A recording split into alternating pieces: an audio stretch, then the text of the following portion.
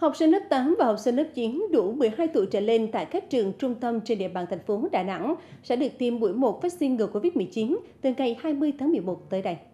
Theo đó, từ ngày 20 đến ngày 22 tháng 11, hơn 34.000 học sinh lớp 8, lớp 9 đủ 12 tuổi trở lên tại các trường trung tâm trên địa bàn thành phố trực thuộc Sở Giáo dục và Đào tạo và Ủy ban nhân dân các quận huyện, bao gồm người nước ngoài và người Việt Nam ở nước ngoài sẽ được tiêm mũi 1 vaccine Pfizer ngừa Covid-19. Sở Giáo dục và Đào tạo yêu cầu các trường trung học cơ sở phối hợp với công an các quận huyện tiếp tục rà soát, hoàn chỉnh dữ liệu danh sách tất cả học sinh đang theo học khối lớp 8, lớp 9 trên địa bàn. Đối với các trường hợp các em chưa lấy được số căn cước công dân, chứng minh nhân dân, mã định danh công dân, yêu cầu nhà trường bổ sung mã định danh học sinh lấy từ phần mềm cơ sở dữ liệu ngành giáo dục đào tạo nhập vào danh sách tiêm chủng trước và sau đó, có trách nhiệm cập nhật, bổ sung mã định danh công dân cho các em. Trước đó, thành phố Đà Nẵng đã triển khai tiêm vaccine cho học sinh từ 15 đến 18 tuổi.